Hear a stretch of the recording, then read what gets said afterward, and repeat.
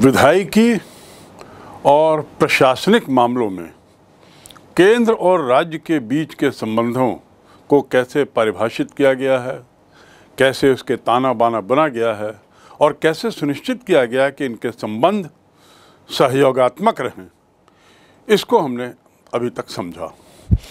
हाँ इसके जो उदाहरण हैं इन सभी क्षेत्रों में इनके उदाहरण का ज़िक्र हम बाद में करेंगे, जब आप इसके तीसरे और अंतिम तरीके के संबंधों को समझ जाएँ। और वह तीसरा और अंतिम है वित्तीय संबंध, अर्थात फाइनेंशियल मैटर्स फाइनेंशियल रिलेशंस पैसे के मामले में केंद्र और राज्य के बीच में कैसे संबंध हैं, इसको भी बड़ा स्पष्ट परिभाषित किया गया है। और घनिष्ठ संबंध होने की ज़रूरत है। दोनों केंद्र और राज्य में ये समझ होने की ज़रूरत है कि किसको कितने मद की, धन की, राशि की वास्तव में आवश्यकता है।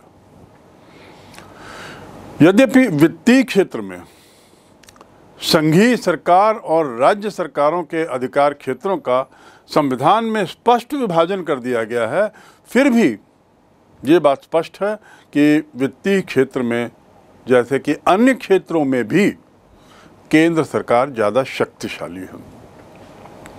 ऐसे बहुत से उदाहरण आए हैं, जब केंद्र और राज्य के बीच में वित्तीय मामलों को लेकर टकराहट हुई है।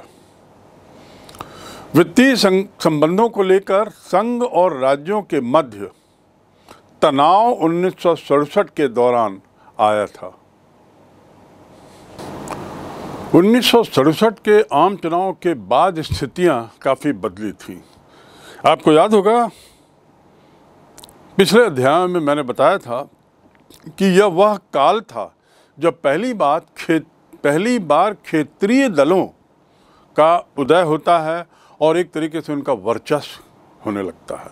कांग्रेस की स्थिति बड़ी शोचनीय हो गई थी, जो उस समय तक मात्र एक तरीके से कहना चाहिए, वास्तव में एक राष्ट्रीय दल था।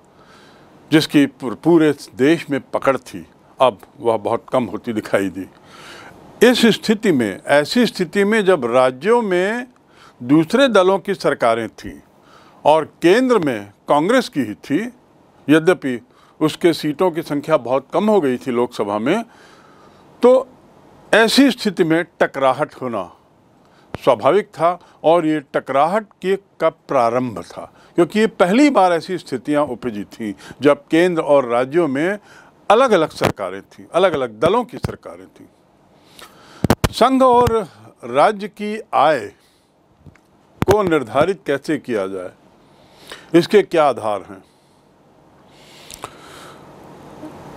वित्त आयोग का गठन होता है और यह वित्त आयोग राज्यों से मिलकर उनकी आवश्यकताओं को समझने की कोशिश करता है, उनकी आय देखता है, उनका व्यय देखता है, उनके संसाधनों का एक आकलन करता है और उसके बाद केंद्र सरकार से बात करके राज्यों को उनकी आवश्यकता अनुसार पैसा अलॉट करने की प्रक्रिया करता है। यह कार्य वित्त आयोग का है। जब दोनों जगह, केंद्र और राज्य में अलग अलग दलों की सरकारें आई तो आय के साधनों में बहुत ज़्यादा अंतर होने के कारण राज्य और संघीय सरकारें टकराई। ये अंतर इतना ज़्यादा है कि ऐसा लगता है कि इस मामले में भी भारत का संवैधानिक स्ट्रक्चर जो है, ढांचा है वह काफ़ी कुछ एकात्मकता की ओर झुका हुआ है, क्योंकि अधिकतर आय कर से होने वाली अधिकतर आय केंद्र को जाती है। उस हद तक राज्य सरकारें संघीय सरकार की कृपा पर निर्भर हो जाती हैं। संविधान द्वारा इस संबंध में जो व्यवस्था की गई है, हम उसे थोड़ा समझने की कोशिश करें कि किस तरीके से पैसों का बंटवारा होता है, आय का बंटवारा होता है। पहली व्यवस्था के तहत हम देखें केंद्र की आय के साधन। केंद्र सरकार को कहाँ से कमाई होती है? संविधान की सातवीं अनुसूची, संघीय सरकार के आय के साधनों की अलग व्यवस्था। जैसे शक्तियों का प्रावधान किया गया है और केंद्र, राज्य और समवर्ती और अवशिष्ट सूचियाँ बनाई गई हैं पावर्स के मामले में उसी प्रकार आय को लेकर भी ऐसा क्लियर कट डिवीज़न किया गया, विभाजन किया गया। इसमें कृषि आय कर के अतिरिक्त आयकर, सीमा शुल्क, निर्यात शुल्क, उत्पादन शुल्क, निगम कर कंपनियों का मूलधन कर, कृषि संपत्ति के अतिरिक्त अन्य संपत्ति शुल्क रेल, समुद्र या वायुयान से लाने ले जाने वाली वस्तुएँ या यात्रियों पर सीमा कर, चेक, हुंडी, रुक्का, बीमा रसीद, बीमा पत्र तथा ऋण पत्र, ये जो हैं, इस पर केंद्रीय सरकार का वर्चस्व है। इससे होने वाली आय केंद्र सरकार को जाती है। तो आप इन हेडिंग्स को देखें। जहाँ तक राज्य सरकारों की आय के संसाधन हैं वह भी सातवीं सूची में ही परिभाषित है और उसमें बताया गया है भू राजस्व, अर्थात रेवेन्यू कृषि आय कर, कृषि भूमि का उत्तराधिकार शुल्क, संपत्ति शुल्क, उत्पादन कर, बिक्री कर यात्री कर मनोरंजन कर मुद्रांक कर। इसके अलावा एक्साइज जैसे मादक वस्तुओं पर शराब पर होने वाला टैक्स मोटरों ट्रकों और विज्ञापनों पर जो कर लगता है वो ये राज्य सरकार के आ, उसमें लॉकर में जाता है। राज्य सरकार के पास भी पर्याप्त स्रोत हैं। जैसा कि सूची से दिखता है। लेकिन राज्य सरकार की जो आय है, वह बहुत अन्य चीज़ों पर निर्भर करती है। उदाहरण के लिए, यदि हम यात्री कर की बात करें तो आवाजाही उस राज्य में कितनी है? आवागमन के साधन कितने हैं? वहाँ की जनसंख्या कितनी मोबाइल है? ये निर्भर, ये बता, ये तय करेगा कि कितना कर आएगा। ऐसे ही मादक वस्तुओं की बिक्री, शराब की बिक्री, जितनी ज़्यादा बिक्री होगी, उतना ही कर मिलेगा। एक और जहाँ मादक पदार्थों पर लगने वाला कर, मादक पदार्थों की बहुत ज़्यादा बिक्री के कारण कई राज्यों में सबसे बड़ा कर का संसाधन है, वहीं दूसरी ओर इन राज्यों के पास एक विवशता भी है। Directive principles of state policy दिशा निर्देशक सिद्धांत, में संविधान निर्माताओं ने एक बिंदु डाला है। उसके तहत ये अपेक्षा की गई है सरकारों से कि वह ऐसे मादक पदार्थों के उत्पादन पर रोक लगाने का प्रयास करे, रोक लगाए। तो एक और जहाँ एक्साइज ड्यूटी जो है वह सबसे ज़्यादा बड़ा आय का स्रोत है, वहीं दूसरी ओर इसको कम करने के लिए भी दबाव है। शराब की दुकानों को बंद करने के लिए भी दबाव है। इसकी अपनी बुराइयों, सामाजिक बुराइयों के मद्देनज़र इसके उत्पादन पर कई राज्यों ने रोक लगा दी है। लेकिन उसकी कीमत क्या हुई? उसका खामियाजा इन राज्यों को भुगतना पड़ रहा है, क्योंकि उनकी आय का एक मुख्य स्रोत कम हो गया, ख़त्म हो गया। और इसी बात को ध्यान में रखते हुए कुछ अन्य राज्य किसी भी तरह का प्रतिबंध लगाने के खिलाफ हैं, भले ही उसकी सामाजिक बुराइयों से वे वाकिफ हों। इसी प्रकार अन्य जो कर हैं, बिक्री कर, संपत्ति शुल्क ट्रांसपोर्ट टैक्स, ये सब भी राज्य के खाते में जाता है। अब हम तीसरा बिंदु देखें, वह है केंद्र का व्यय क्या है। किस पर वो मुख्य रूप से खर्च करती है?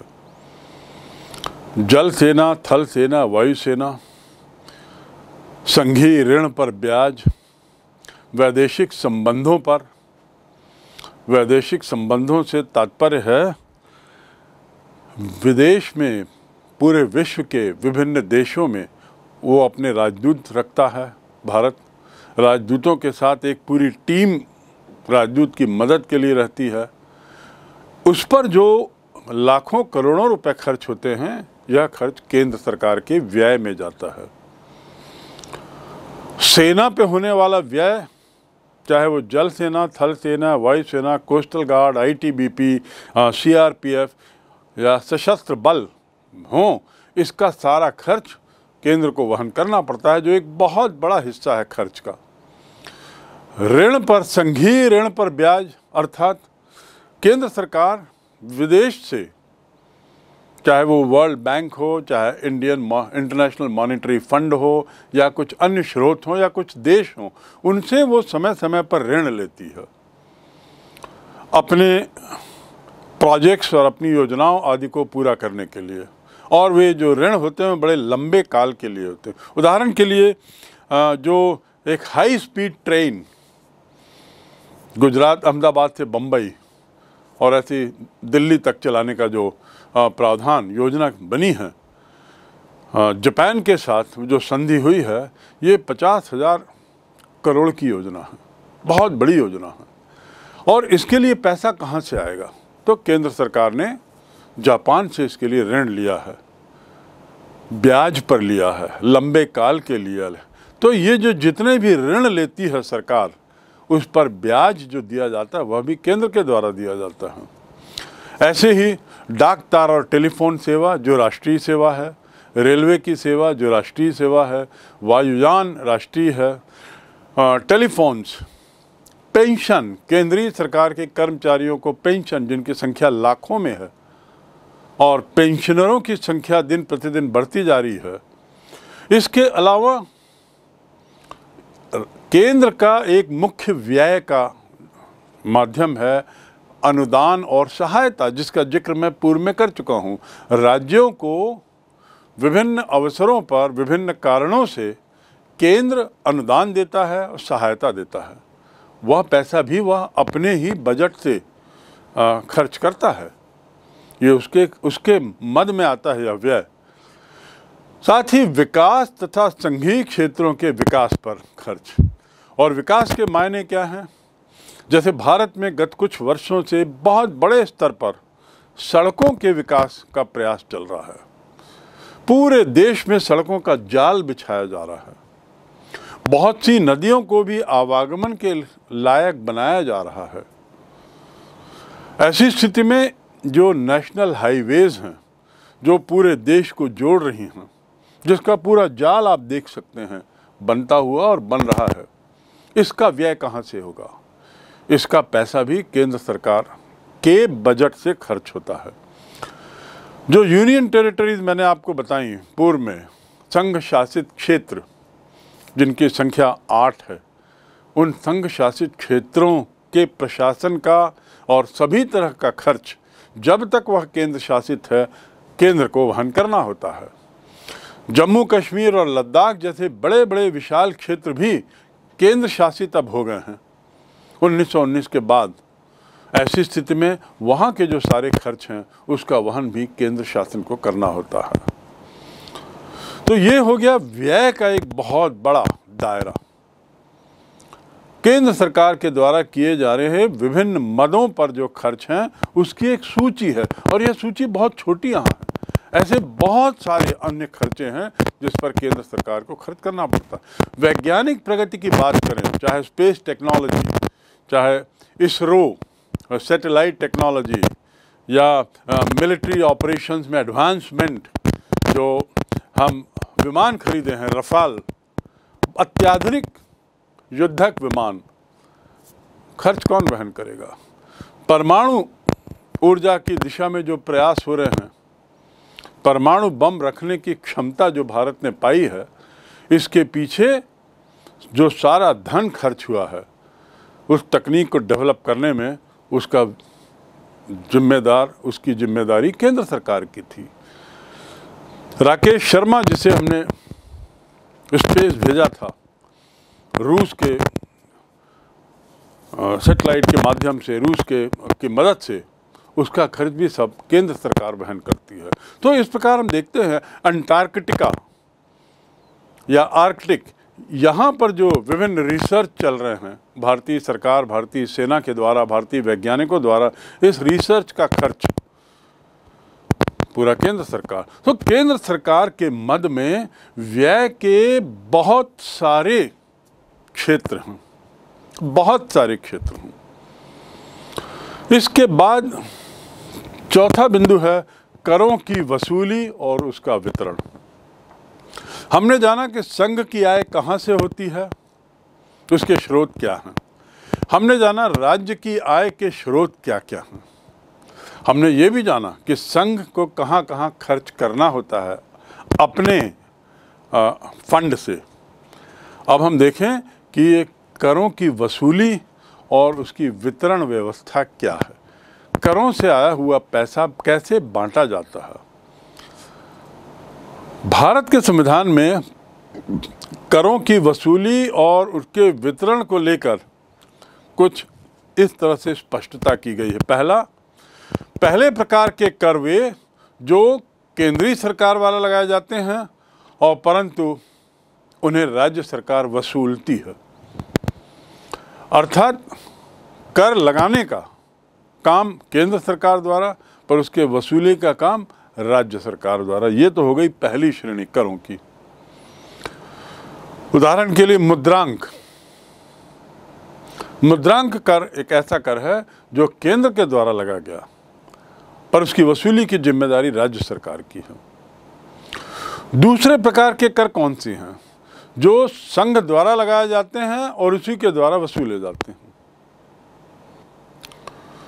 अर्थात लगाने का, टैक्स लगाने के काम संघ का है और उसको वसूलने का भी काम संघ का है। राज्य के विभिन्न राज्यों के लोगों से वह टैक्स वसूलने का क्या ज़रिया है, इसको हम बाद में देखेंगे। केंद्र द्वारा कैसे इसे कलेक्ट किया जाता है, लेकिन फ़िलहाल हम जानते हैं कि दूसरी श्रेणी करों की वो है, जिसमें लगाने का काम और वसूली का काम दोनों संघ ही सरकार करती है। लेकिन ऐसा करने के बाद जो आय है, वह पूरी की पूरी राज्यों में बांट दी जाती है। जो आय है, वह पूरी की पूरी राज्यों में बांट दी जाती है। अर्थात केंद्र के पास इस तरह के कर से इकट्ठा किया धन बिल्कुल नहीं रहता, वह सभी राज्यों को बांट देता है। उदाहरण के लिए उत्तराधिकारी कर, संपत्ति कर, समाचार पत्रों पर कर। ये जो कर हैं, इसको लगाने का, इसकी दर तय करने का कार्य संघीय सरकार करती है और दर तक, दर तय करने के बाद इसके कलेक्ट करने का, वसूली का काम भी केंद्र सरकार करती है। तीसरे प्रकार के कर कौन से हैं? तीसरे प्रकार के कर वो हैं, जो संघीय सरकार द्वारा लगाए और वसूल किए जाते हैं, परंतु उसकी जो आय है, वह संघ और राज्य दोनों में बढ़ जाती है। दोनों में बट जाती है। लगाना और वसूल करना। पहली श्रेणी, दूसरी श्रेणी की तरह केंद्र का काम। लेकिन इसमें से होने वाली आय का बंटवारा केंद्र और राज्यों के बीच में हो जाता था इससे पहले जो स्थिति थी, उसमें मैंने बताया था कि केंद्र कलेक्ट करता है, वसूल करता है लगाता भी है, लेकिन सारी आय को वो राज्यों में बांट देता है। उसमें से एक पाई अपने पास नहीं रखता। लेकिन ये तीसरी श्रेणी जो करों की है, वह ऐसी है जिसमें संघ का भी अपना हिस्सा होता है। शुद्ध आय को संघ और राज्यों के बीच में बांट दिया जाता है।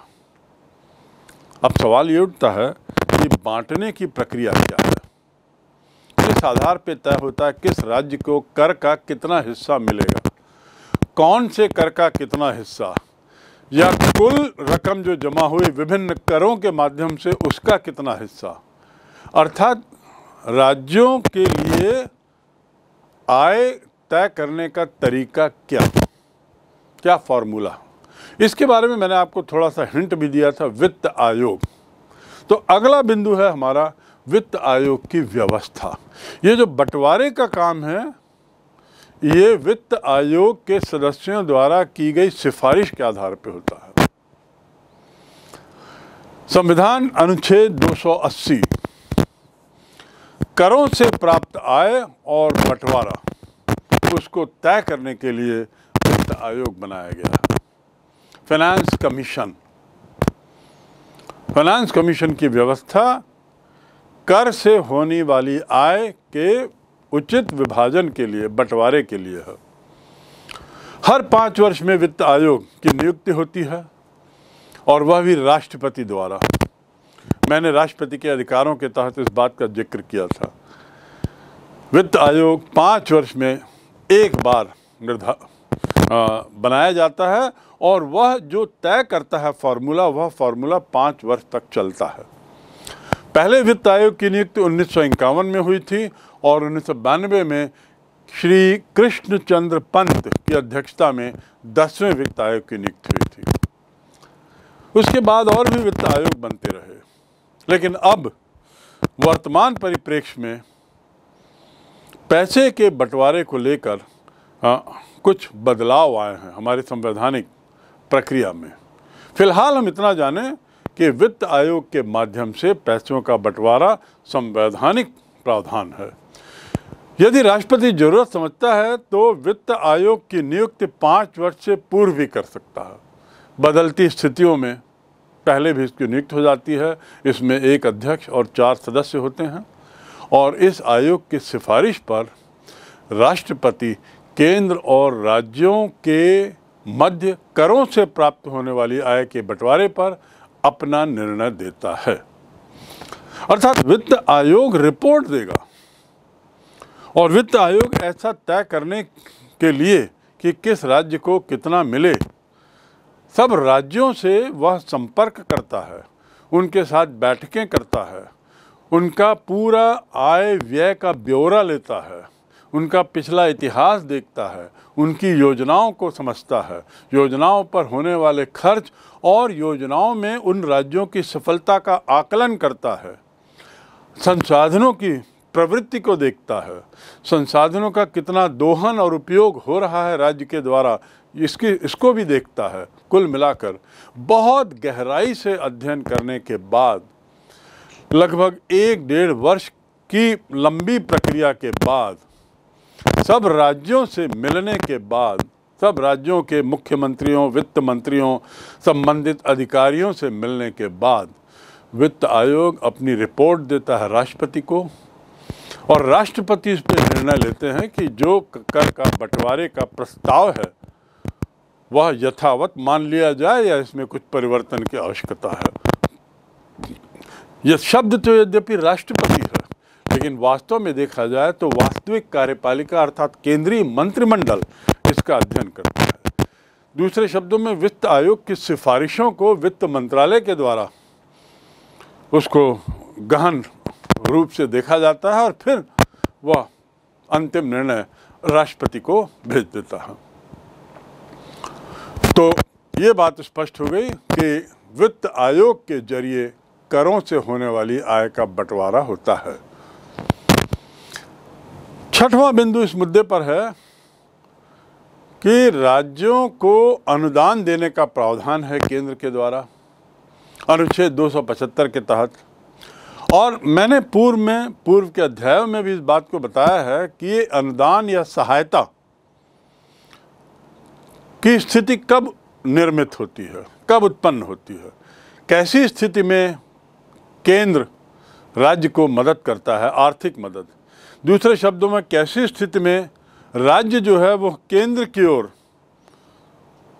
हाथ बढ़ाता है मदद के लिए, आर्थिक मदद के लिए? 275 अनुच्छेद अनुच्छेद 275 में दैवीय प्रकोप अर्थात नेचुरल डिजास्टर्स प्राकृतिक आपदाएँ यदि कुछ होती हैं, जिसमें भूकंप, बाढ़, अकाल और इसके अलावा हम कह सकते हैं दूसरी जो प्राकृतिक समस्याएँ हो जाती हैं, उसके मद्देनज़र स्थिति को सामान्य करने में जो खर्च होगा, उसका काफ़ी बड़ा हिस्सा केंद्र सरकार देता है। इसके साथ ही आदिम जातियों और कबीलों के विकास और कल्याण के लिए, यदि उस राज्य में आदिम जातियों की संख्या, आदिम जाति बहुल राज्य है वहाँ अच्छी संख्या है तो उनके, उन पर विशेष खर्च होता है। सार्वजनिक उद्देश्यों की पूर्ति के लिए, सार्वजनिक उद्देश्यों की पूर्ति के मायने हैं, ऐसे काम जो जनता की भलाई के लिए किए जा रहे हों। अंदरूनी सड़कें बनवाना, बहुत सारे तालाब या कुएँ खुदवाना इसके अलावा यदि राज्य सरकार की कुछ योजनाएँ हैं, जिसमें बहुत सारे गार्डन या अस्पताल आदि बनाना या पॉलीक्लिनिक बन, खोलना तो ऐसी स्थिति में राज्य सरकार केंद्र से मदद मांग सकता है। और केंद्र सरकार इस पर उचित निर्णय लेते हुए मदद करने के लिए तत्पर भी रहती है। ये अनुदान, सहायता अनुदान कहा जाएगा grants in aid grants in aid एक बहुत बड़ी रकम होती है।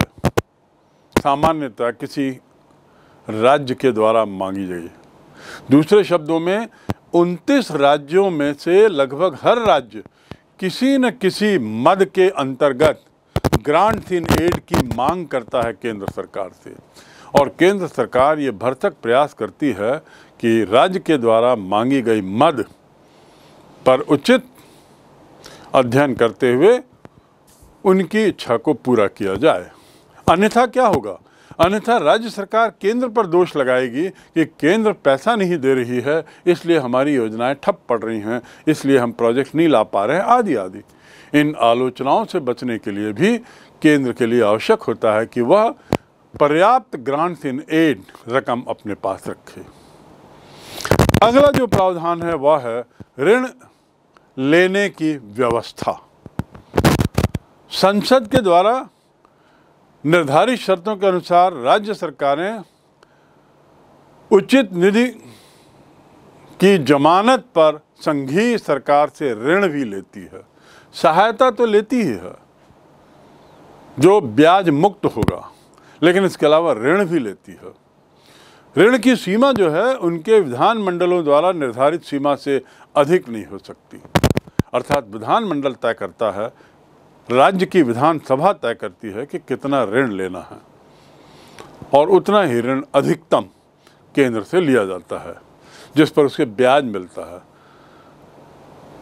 केंद्र सरकार भी उसी प्रकार ऋण लेती है, जैसा मैंने बुलेट ट्रेन का उदाहरण देते हुए बताया। ऐसे बहुत से उदाहरण हैं जिसमें हमने विदेशी सहायता ली है, विदेशी ऋण लिया है, और ब्याज पर लिया है। ये रकम अरबों में है।